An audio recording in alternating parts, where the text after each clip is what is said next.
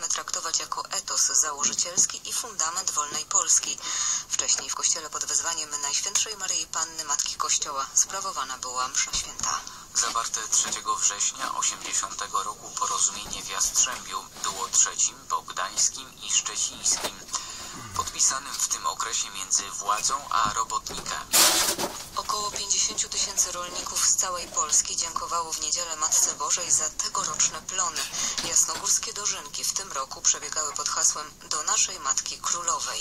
Głównym punktem spotkania była msza święta. Przewodniczył jej metropolita poznański i przewodniczący konferencji Episkopatu Polski, ksiądz arcybiskup Stanisław Gondecki. W homilii powiedział, że dożynki to nie tylko dziękczynienie Bogu za plony, ale również okazja do wyrażenia wdzięczności i szacunku dla rolników za ich pracę i postawę.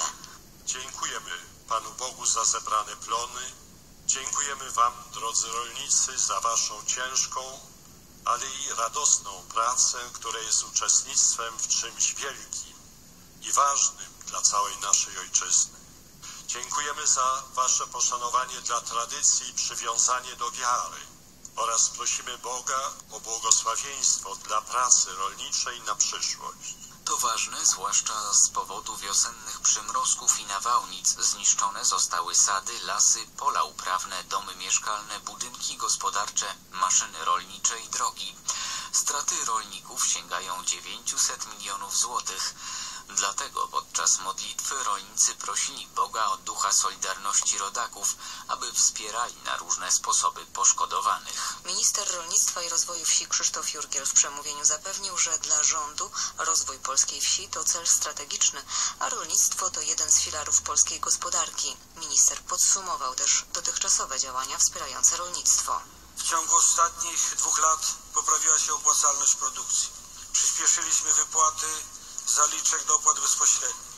Uruchomiliśmy wsparcie rynków rolnych ze środków unijnych i krajowych. Przyjęliśmy ustawę o znakowaniu naszej żywności symbolem produkt polski.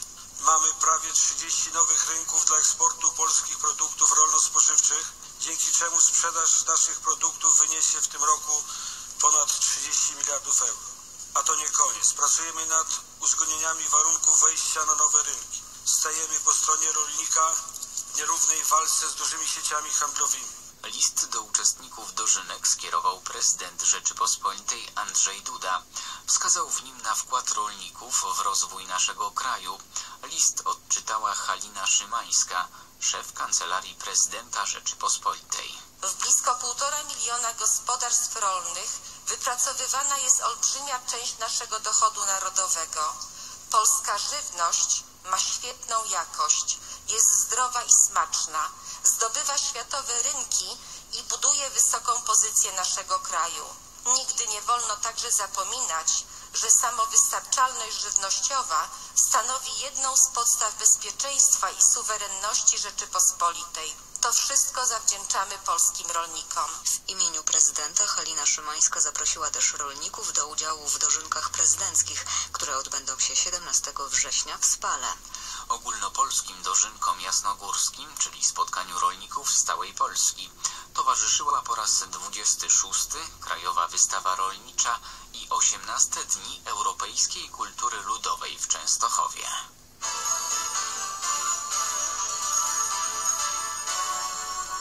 Mamy do czynienia z dość daleko idącą bezczelnością, stwierdził szef MON Antoni Macierewicz. Odniósł się w ten sposób do słów krytyki wobec Polski, jakie wypowiedział minister spraw zagranicznych Rosji Siergiej Ławrow. Szef rosyjskiej dyplomacji powiedział, że w Polsce odczuwa się pranie mózgów w duchu antyrosyjskim. Słowa te padły podczas spotkania ze studentami Państwowego Instytutu Stosunków Międzynarodowych w Moskwie. Minister Antoni Macierewicz zauważa, że to Rosja powołała wojska informacyjne, których celem jest walka przy pomocy dezinformacji. Szef MONU zauważył, że działają one na całym świecie, ale w sposób szczególny są one rozwinięte w Polsce. To jest jedyne państwo, które jasno mówi, że obszar informacji, dezinformacji jest obszarem działań militarnych. To jest właśnie e, Rosja, dezinformacja, maskierowska, wprowadzanie w błąd przeciwnika, kłamstwo, oszustwo. To jest broń, którą Rosjanie się posługują od dawna bardzo dobrze, a teraz to sprofesjonalizowali i wprowadzili oficjalnie do sił zbrojnych. wypowiedź Ławrowa.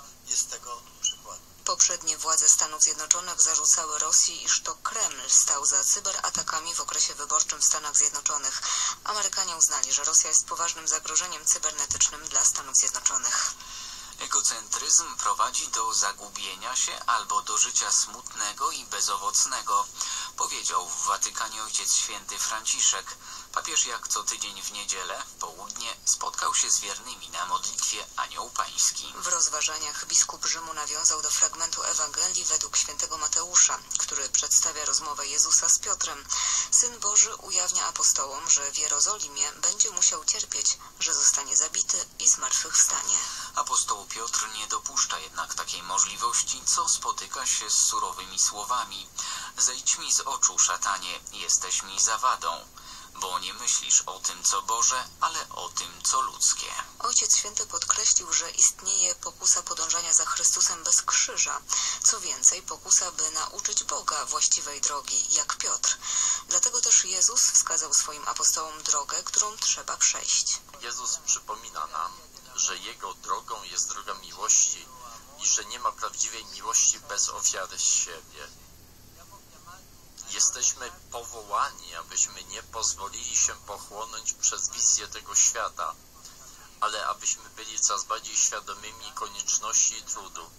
Tego, że my chrześcijanie musimy iść pod prąd i pod górę, że musimy zawsze iść pod górę.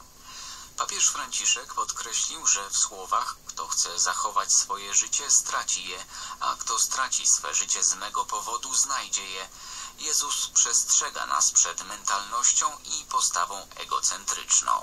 Wydanie własnych talentów, własnej energii i czasu wyłącznie po to, aby ocalić i strzec i zrealizować siebie samego, prowadzi w rzeczywistości do stracenia siebie, czyli do życia smutnego i sterylnego, do egzystencji pełnej smutku.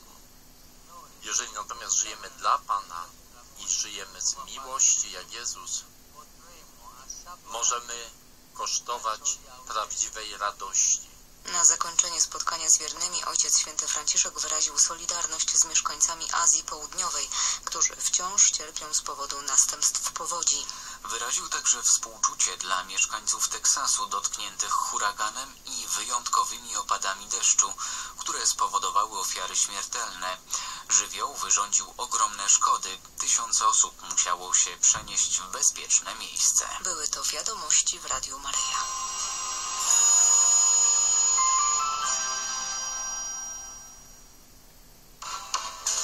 Wybrane problemy, tematy, artykuły z codziennej prasy polskiej. Ustawą w pozby powstał projekt ustawy rozwiązującej problem odszkodowań za majątki pozostawione przez tzw. późnych przesiedleńców do Niemiec. Szczegóły w naszym dzienniku. Mobilizacja dla życia. Musimy zrobić wszystko, by nie zmarnować tej szansy, która jest nam dana. Ksiądz biskup Jan Wątroba zachęca do zaangażowania się w zbiórkę podpisów pod projektem w obronie dzieci poczętych. Ludobójstwo UPA na terenie Ukrainy to temat tabu. O obowiązku upamiętnienia ofiar rzezi wołyńskiej pisze w naszym dzienniku dr Krzysztof Kawęcki. Wybrałam sobie to miejsce. Jak obraz Matki Bożej Kodeńskiej siłą wywieziony do Częstochowy wracał do Kodnia. Artykuł ojca Leona Głowackiego. Dziękczynienie w rodzinie. Wspaniała atmosfera i liczne atrakcje w naszym dzienniku o uroczystościach w Toruniu. Wybrane problemy, tematy, artykuły z codziennej prasy polskiej. Ciśnienie w Warszawie południe wyniesie 1003 hektopaskale i będzie się... Cieszę się bardzo, że, że właśnie doszło, doszło do tego zdarzenia, do tego wydarzenia. które może być w każdym poszerzone o dodatki. Halo, tu Warszawa. Radio walczącej stolicy. Nadajemy komunikat specjalny. 3 września. Niemcy atakują Powiśle. Chcą oskrzydlić miasto. Nasilają atak na Śródmieście. Oddział z grupy Campinos dowodzony przez porucznika Adolfa Pilcha pseudonim Dolina zaatakował pododdziały Brygady Szturmowej SS Rona kwaterujące we wsi Truskaw. Całkowicie rozbił dwa bataliony nieprzyjaciela zdobywając przy tym duże ilości broni i amunicji w tym działu kaliber 75 mm. Jeden z kolejnych apeli tym razem katolickiego arcybiskupa Sydney Normana Gilroya, o pamięć o sprzymierzeńcu, który wycierpiał najwięcej, o Polsce. Jeszcze Polska nie zginęła.